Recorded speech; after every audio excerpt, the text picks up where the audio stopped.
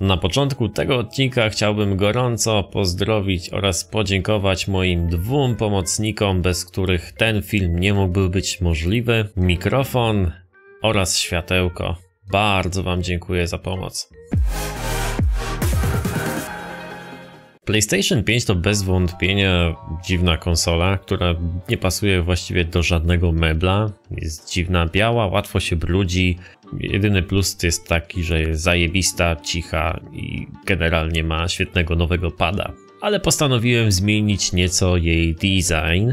Wymienimy sobie dzisiaj obudowę konsoli i dodamy ciekawy element na padzie. Zapraszam! Bateria. Moi drodzy, po roku użytkowania czas pracy na baterii jest bardzo krótki i wnerwia mnie to, że tych baterii nie można wymienić. Tutaj mamy stały akumulator i okej, okay, jest to fajne, podłączasz sobie do ładowania, ale jak masz tylko jednego pada, to nie możesz sobie nagle zesłapować i wziąć innego pada, no nie?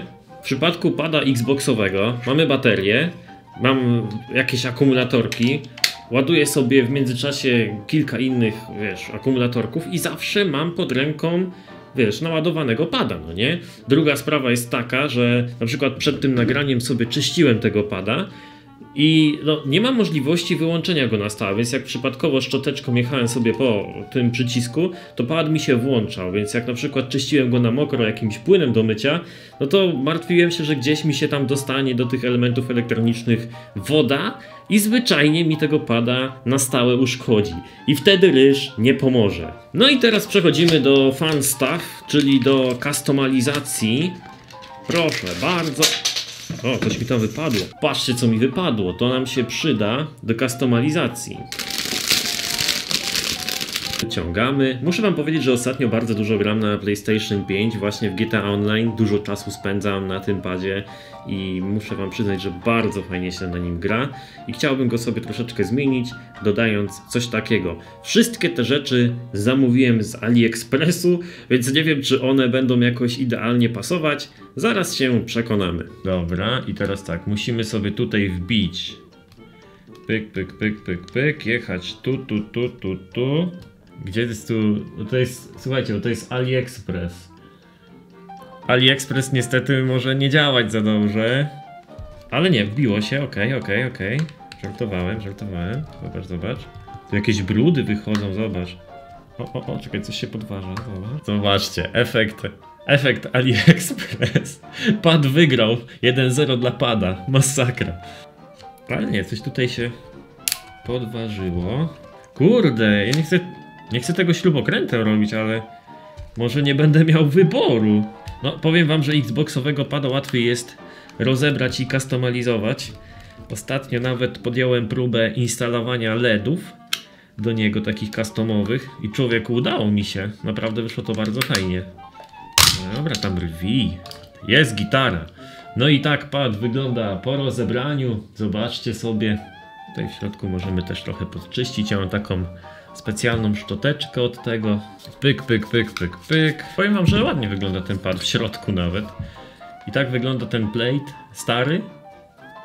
A tak wygląda nowy, niezałożony, więc musimy jeszcze raz to wymyśleć. Możliwe, że jak raz to założę, to już w całości tego później nie ściągnę, tak jak tej części od PlayStation, nie? O, o kurczę. No i dobra, ty zmienione. I co wy na to? Quality test, moi drodzy, nie wiem czy to będzie dobrze widać, ale tutaj spasowanie w tym miejscu nie jest zbyt dobre. Nie wiem czy to mogę jeszcze, chyba nie mogę tego docisnąć mocniej.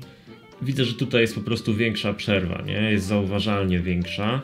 Teraz przechodzimy do grubszej sprawy, czyli ściągamy obudowę od PlayStation. I teraz tak, musimy to podważyć w tym miejscu, gdzie mamy znaczek PlayStation. I tą obudowę jakoś ciągnąć. O! Właśnie w ten sposób. I pyk. Tak wygląda obudowa po roku użytkowania. Nie sprzątałem jej, nie wycierałem. Tutaj widzimy trochę takie zabrudzenia, ale nie jest ich dużo. Zobaczcie, tak wygląda sobie kuler. Chyba nie ma tragedii, nie?